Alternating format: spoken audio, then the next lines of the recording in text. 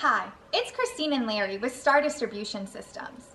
We're attending the Food Shippers of America conference in Palm Desert, California, and would appreciate the opportunity to speak with you about your transportation needs.